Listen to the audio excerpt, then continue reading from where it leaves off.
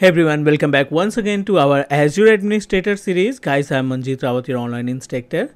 In this class, I'm going to define you about the concept of Azure Storage Services.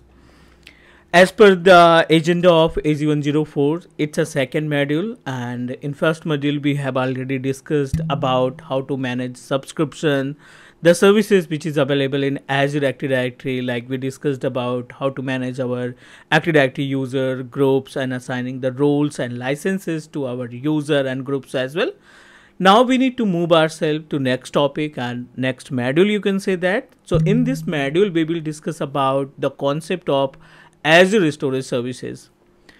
As per the agenda, as per the content of AZ104, in case of storage, we must need to know each and every points like as what is storage, right? Second uh, module is uh, implement and manage storage services. So in case of implement and manage storage services, we'll start from the very basic like introduction of storage, implement storage and about storage services. We'll discuss about the storage kinds and uh, determine replication strategies. So these all are the topics that we need to cover in case of our Azure Administrator based uh, content. So let's start with the basic understanding of storage and after that we'll move ourselves to the portal and we'll create one storage account and try to understand about the options and services which is available in Uh, a single storage account. As per the name suggests, if we talk about the storage, so you know that every organization, every IT, non-IT organizational must be established at least one storage because the single storage is responsible to provide space to our client, right? It may be for client machine, for server, for another virtual environment. So we must need to establish at least one storage services. About the introduction, so let's talk about the Meaning of storage as per the name suggests the work of storage means if you want to save any data, if you want to configure kind of backup, you want to create a application services, then storage come into the picture. About storage. So let's talk about storage. How many options are available in storage? So we have a multiple way to understand like I'm going to start from very basic like as a SAN and NAS. As per the name suggests, the meaning of SAN is basically considered as a storage area network, right? The work of NAS is network attached storage. The second is network attached storage. As a Azure administrator, it's our responsibility. We should know about how we can manage the storage services so that's why it's really important for us. We must need to know about the gap between SAN storage and NAS storage.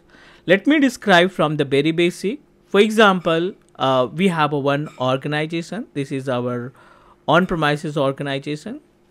In on-premises, we establish one storage device. This is the storage device. The capacity of this storage may be up to 100 TB okay? The capacity of this storage is approximately 120 uh, 100 uh, TB of space which is contained by the storage device. N number of resources are available like as uh, we have a multiple server it may be ESXi server it may be hypervisor server maybe some uh, additional server like VPN and databases server are available in our environment you want to share the space from your SAN storage to existing servers like this. It means that you are using local area network and in case of SAN storage, the concept of SAN storage, it considered as a block based storage. The meaning of SAN is considered as a block based storage. In case of block based storage, we are able to share the space in format of disk means each and every system contain a separate partition means each and every machines are able to access the space in format of block. You can say the chunks of space which is shared by the share storage. SAN storage established for local area network environment you can say that for a single organization or single branch if you want to distribute the space you can proceed with SAN storage. As it is let's talk about NAS storage.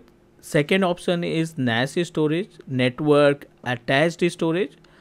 As per the name suggests the meaning of network attached storage this is our branch 1 we have a multiple branch that we established in different geographical location. Branch 1 we established in location of maybe Delhi. Branch 2 which is established in maybe location of Pune. And branch 3 established in location of Dubai right? These all are the offices that we establish in different different geographical location and you are planning to establish one storage device same storage device that we used to establish in case of SAN right? With the help of NAS storage we are able to share the space from one location to different geographical location. Or you can say that using SAN storage we are able to distribute our storage to different different system which is situated in different geographical location. This is considered as a NAS, right? And it considered as a object based storage. In other word, you can say that which is core example of object based storage means you are unable to take a partition you are unable to create a partition in your uh, system if you access the space from the NAS storage. You are able to create partition only and only in case of SAN storage. That's why it considered as a block based storage. The NAS storage, you are able to upload the data and download the data. It just like as a share folder. We have n number of examples related to NAS storage like you know very well about the Google Drive we have another example like as a OneDrive and you know very well about the concept of iCloud as well. These all are the storage, these all are the definition about the SAN storage and NAS storage. Let me proceed for next step. This is the basic. As it is nowadays Azure can give us option to establish our own storage. Means you can set up your own storage over a cloud and you have to pay the very basic amount for the hardware for the storage that you want to purchase from the Azure portal. So let me give you the complete information with the help of diagram how Azure storage can perform the task and how many options are available in our Azure storage account. As we know very well, Azure contain up to 3600 different services as a Azure administrator, it's our responsibility. We should know about uh, the core services related to the administrator, which is responsible to manage the infrastructure of our on premises. So storage is a one of important service that help us to configure storage for backup, for application, for another services as well. For example, uh, we established one storage account for example i'm going to proceed with azure storage account and a single azure storage account contain four different storage services. The first one is container.